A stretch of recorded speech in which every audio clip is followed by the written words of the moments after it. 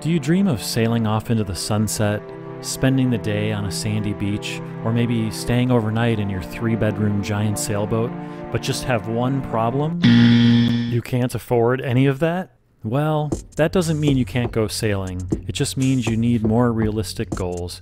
And in this video, we're going to look at sailboats that might not have three bedrooms or might not be able to sail around the world, but they're under $2,000. My most popular videos to date have been two videos about buying small sailboats. The one that I bought and fixed up and how much I spent on it, and another one that was just a guide on buying a small sailboat. And while I've moved on to a slightly bigger sailboat and make videos about my sailing adventures, I do want to give back and help people who want to get into this hobby, who want to start to sail and begin the journey like I did, so once in a while I'm going to make a video like this, so we can look at different price ranges of sailboats and what's currently for sale. Now, there are different sailboats in different parts of the world and prices will vary because of that, but right now it's 2021, we're just coming out of the pandemic, and boat prices are probably higher than they usually are. For cheaper sailboats like this, I'm going to be searching Craigslist in a price range from 500 to $2,000, so we get some results here that I'll open. Um, I'm focusing on boats that actually have a cabin, so you could stay overnight for a weekend or a little longer if you wanted to. And I'm going to avoid boats like sailing dinghies or little racing boats. They can actually cost a lot more than $2,000, but um, for this one, we'll focus on mostly just sailboats that would be more of a typical type of sailboat. We're going to be going from cheapest to most expensive, which isn't a very big spread this time because it's only 500 to $2,000. But our first cheapest boat is a 23 AMF Pace Ship, and it'll be the junkiest boat on today's list. It says it's a project boat with a centerboard stuck inside. The person doesn't have time to fix it, and it has uh, a new rudder, tiller, and good sails. This is what it probably looked like when it wasn't an old piece of junk. It says here the Pace Ship yacht was built in Nova Scotia between 73 and 1981. I really don't think you're going to want to make this a real sailboat. It even says possibly a playhouse for kids. So these are the kind of boats that I would completely avoid. Don't even look at it for more than 30 seconds it's out there, but this is something where you'll probably just do more fixing than you will sailing, and in the end, you'll spend way more than a boat that was already fixed up. All right, our next cheap boat is a $500 boat called a Sonar 23 with a trailer. It says it needs some fiberglass work, but the trailer's in great shape. It also says needs to get it out of here, so could you get it for free? Maybe. Wow, look at the uh, keel on this thing. It sits really high off the trailer. This one's kind of an interesting find because it says here the Sonar was inducted into the American Sailboat Hall of Fame in 2004, and it was a one design trailerable racing sailboat designed in Canada. Later on, it would be developed into a more cruising oriented Blazer 23 using the same hull. Huh.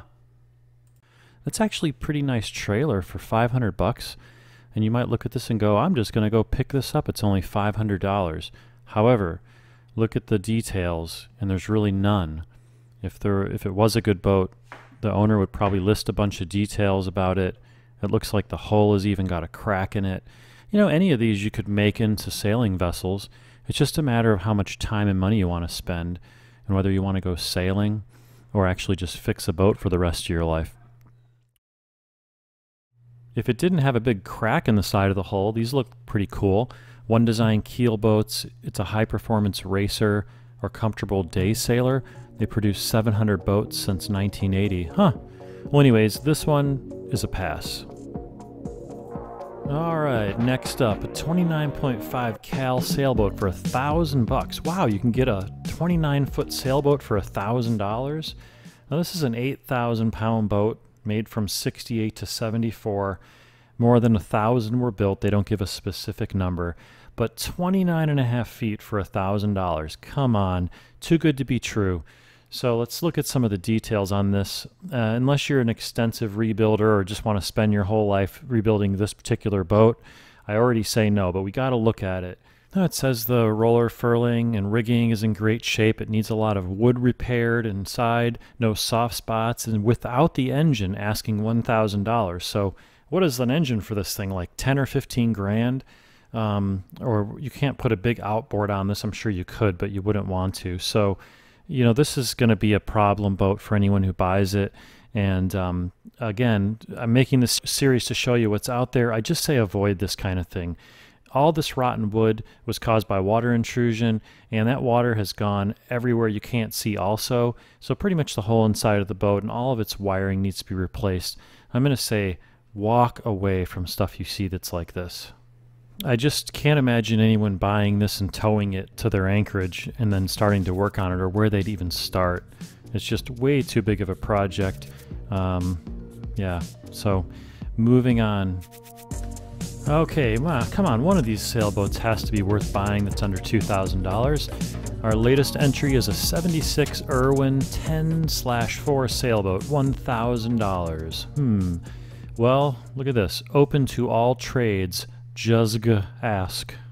The Irwin 10-4 was made from 1975 to 1982, with a draft of 6.6 feet with centerboard extended and 2.75 feet with it retracted. Her name, Irwin 10-4, actually becomes from the beam of 10 feet 4, not the length of the boat like most sailboats. It's said that she's stable in a breeze, but in light air she's slow. All right, well, in this particular example, it says it's a 25 foot sailboat with a 10 foot beam, super sought out. I've lived on it for six months. It did great for me. He upgraded to a bigger boat. Needs new chain plates um, and mast, are, or it needs new chain plates and rigging. Mast is in good condition. Comes with sail picks, are from before I moved off. Could use new electrical, no inboard motor. So, this is a motor, a boat without an inboard motor.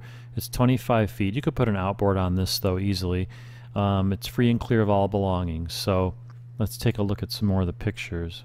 So I would say if you want to live on this boat, you could probably do that, but to have to redo the chain plates and all the rigging and all the electrical and get an engine for it, I'm just going back to the fact that you could just buy a boat that already has stuff like that that operates instead of trying to buy it all and spending two years making it all work.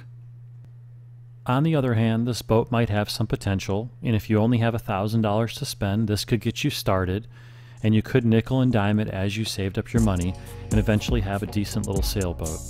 Alright, and as it turns out, this next boat is in kind of our local area where we go power boating, so we've probably seen it. But it's a Grampian uh, G26 1972, and this boat's actually being sailed pretty cool. It's not just a boat that's a piece of junk. It, oil leaks on the motor, it says, and um, you know some things need to be rebedded, and there's plenty of problems with it. It sounds like. However, it actually sails. That's a good start. It doesn't cost very much. It's only one thousand dollars. So I like this boat a lot better than some of the other ones, just because it actually is being sailed and it has. Uh, a mainsail in fair condition, hank on jib in fair condition. So, you know, none of this is going to be great, you could spend thousands and thousands of dollars making this boat better, but at least you're off to a good start with a boat that actually can sail and that's floating in the water. There were about 980 Grampian G26 sailboats made from 67 to 1977. You can find a lot more information about these boats online if you want to look. If you're interested in buying a certain boat, you know, take a look around YouTube and Wikipedia or some other places on the internet to find more out. You can find out a lot about what's good, what has parts, what was a bad boat, what wasn't made for very long, and things like that. But so far, this doesn't look like a bad used boat. If you're thinking of buying a sailboat under 26 feet, I highly recommend the Sailor's Book of Small Cruising Sailboats. I've recommended this in previous videos. Got every boat ever made under 26 feet and a lot of good information about each one. Keep in mind as we do this that this will be a series with different sailboats at different costs and different videos, but in this video we're just looking at boats under $2,000, so we're not really getting very nice boats here, but it's just interesting to see what's out there when you hardly have any money to spend on a boat. Alright, moving on. The MacGregor 22 recreational keel boat fiberglass, wood trim. It's 1,800 pounds, has 500 pounds of ballast. Um, you know what? That's a lot like a Catalina 22. It's normally fitted with a 3 to 6 horsepower outboard, just like the Catalina 22. MacGregor was a pretty popular 22 foot boat. It can have five people, but no, you don't want five people even on my 28 foot boat. Um, has a little dinette table that converts into a berth and this, that, and the other thing. Wikipedia and sailboatdata.com show this boat made in the 60s, but my sailboat book shows it was from 1981 to 1986. The owner of this particular MacGregor 22 took the time to take some nice pictures and show the sails laid out on his lawn and all the interior photographs that you can inspect and see everything. So that's nice. He probably knows a little bit about the boat and probably sailed it, knows what's wrong with it. You can't expect much here, but at least you have someone trying to make an effort to sell their boat. And this actually looks like a pretty good start. It says here that um, it has a pop top. It's got a draft of 5 foot 6 with the keel cranked down and 18 inches with it up. That's real similar to a Catalina 22 and it weighs 1,800 pounds. Says here you can even have two dogs or three adults inside. All right, so far we're not getting much for under $2,000, but here's a 1991 Com-Pac 16 for $1,500. This is going to be the newest and smallest boat we've looked at so far in this list, but there were 2,800 Com-Pac sailboats made uh, starting in 1972 all the way to 2006. So you're going to be able to find parts for this boat. It's newer, so it probably has a lot less damage and a lot less things wrong with it. And you can still sleep two people inside. So while it's smaller and everyone wants a bigger boat for their money, this is probably a better boat for your money says here this is a shoal draft keel, currently on a trailer at the Sarasota Sailing Squadron. It's in good shape, includes all sail, 4 horsepower Johnson motor and trailer. He even gives you a Wikipedia link about the boat. I mean, this is a no-brainer. This boat's going to give you a lot of sailing experience. probably in great shape, and you'll actually sail instead of fixing a boat. The only problem might be is that if you sail in an area with waves or out in the Gulf or on an ocean, a 16-foot boat is probably not going to be safe for that. Alright, and our next cheap sailboat, an Ensenada 20 for $1,500. Huh, 20 feet long. It's a little bigger than the last one, not quite as big as a Catalina 22. Says it's a trailer sail, a swing keel, and in the water now. Come check it out. Trailers included, can sleep four. Mainsail and jib are fair. 150 Genoa in very good condition. 6 horsepower uh, available for $400 more. That's a good deal on an outboard um, if it runs. So I like this. Look at they show the trailer, show the boat, and they have an interior picture too. So it's a nice ad. The information I could find says this was made from 72 to 81, but that may not be accurate. There's a question mark next to it. You know, when you look at these little boats, you may not get exactly what you want in a boat. You might get what you want in a price. But I think in all in all, it's better to find something that you can actually sail and get experience sailing, not just fix for months and months or years. All right, let's check out our next boat, a Starwind 19 for $1,600 in 1982. You know, in my sailboat book, it says the best feature, it says it was a nicely conceived, well-made boat for the size and era. Worst feature, we could not find a significant one to mention. That's pretty cool because most of the sailboats in my book have a worst feature. So this sounds like a pretty good boat. Let's look at the details. Doesn't get much better than this for this price range? It says the sails are in new condition, includes a trailer. Um, so for $1,600, I don't know how you could do much better than a boat like this. You're going to just sail away the night you get it and learn how to sail and become a better sailor, um, not learn how to fix diesel engines or or um, problems with sailboats. The only problem I see here is that even though there's a gas can on the ground in the pictures, I don't see any mention of an outboard or an outboard motor on the boat. And you know, you could spend fifteen hundred dollars on an outboard motor, uh, so that could play a big part in this. If it doesn't have one, you could easily um, be up into the twenty-five hundred dollar range. And these are supposed to be boats under two thousand dollars, and uh, so that's something to watch out for. So the next in line price wise is a 1976 sailing canoe and trailer. I know this isn't really the kind of sailboat we're supposed to be looking at, but I thought it was funny and I wanted to throw it in here. Um, without a keel. Oh, there's the keel. Huh. Okay, well, it doesn't look like a very heavy keel. So, um, you know, this could be interesting just to get back to little islands or fool around in a lake or something like that. But um, for almost $2,000, not exactly the sailboat I want to be in.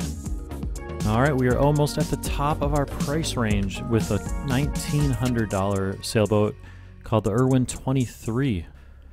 All right, let's see what the ad says. 1972 Irwin sailboat, title in hand, great weekend boat to start your sailing adventures with. Perfect for Florida's west coast. Well, the Mr. Irwin who designed these boats was from Tampa, so that makes sense. Launch fees already paid, whatever that means. If you don't plan to trailer you should take this opportunity to bottom paint it. Um, minimal work to get her ready for the summer. Okay, so I think, you know, this is probably a pretty good boat to get going with. Let's check out some of the pictures. Now keep in mind that bottom painting is pretty expensive. Even if you do it yourself, it's hundreds of dollars per gallon and a lot of work, but this looks like a good start. You could slap some on and just go for it if you didn't really want to do a lot of prep. Um, again, don't see an outboard motor, so here's where we get to another $1,000 uh, easily but looks like a shoal draft keel and maybe some damage on the back of the keel, so a little work to do. It's kind of nice that it's out of the water though. You get to kind of understand your boat before you launch it if the yard will let you do a little work on it. Says in my sailboat book here that the construction quality was just so-so on these boats, so it's worth a good check. But all in all, this looks like a pretty solid boat for under $2,000. Too bad though, it's kind of a letdown, no motor. Now we are at our upper limit of $2,000, a 1985 Tanzer 7.5 liveaboard sailboat, 2000 bucks. I never like when it says liveaboard because I just think, you know, someone's just in this thing every day. Are they going to the bathroom? They're cooking, uh, just generally wearing the thing out. I don't know. Maybe it's just me. Available liveaboard trailerable sailboat needs new chain plates with rigging to get the mast up. So I don't know, 2000 bucks for something that doesn't even sail. It's a 1985. There were a little less than 800 of these boats made, and actually, after doing a little research on them, they don't look too bad. They have a self tacking jib, so if you're a solo sailor, that would be kind of nice to have. Um, but otherwise, it's just a cheap sailboat. You know, when you go to look at a boat like this, it's just out in the water, so you're going to just be on someone's dinghy getting rowed out there or maybe on their paddleboard uh, just to go look at it. You might want to take your snorkel and mask to dive under to see what you see, but you really can't do a good inspection. With these kind of boats, it's kind of a crapshoot, whereas the ones that are on a trailer, you can really get a good look at what's going on and meet the owner and talk to him about it in his backyard. All right, so what do we learned here? Looking at 12 boats that were under $2,000. I would say the zero to $1,000 boats are not worth looking at. They're in too bad a condition. If you just want to live on one, I could see that doesn't really matter. Buy one of those. But if you actually want to sail, you need to get into the 12 to 2 1200 to $2,000 range. And really, you know, it would be nice to buy one of these boats without a motor. You get a little bit better boat, and then you buy like a new motor and you know it's going to start every time and know it's going to be a good condition and maybe yeah you spent 3000 in the end but the boat's good. I would also try and look at these boats that are out of the water because you can really see the bottom paint. You can do a little work to them before they go back in the water and i think you'd have a good start. But always remember in these cheap sailboats don't buy a big 30 foot sailboat that needs a lot of work. There's no way a new sailor is going to be doing any sailing anytime soon unless they're retired and don't have a job. All they're going to do is work on that boat. So I recommend these smaller sailboats that are cheap, that are out of the water, that you can do some work to and get them going and learn how to sail. You know, usually we just make videos of our own sailing adventures, but it's kind of fun to look and see from time to time what's for sale in certain price ranges when it comes to sailboats. Next time we do this, we'll be checking for sailboats between three and ten thousand dollars. Let's see if we can get something a little better. Thanks for joining us.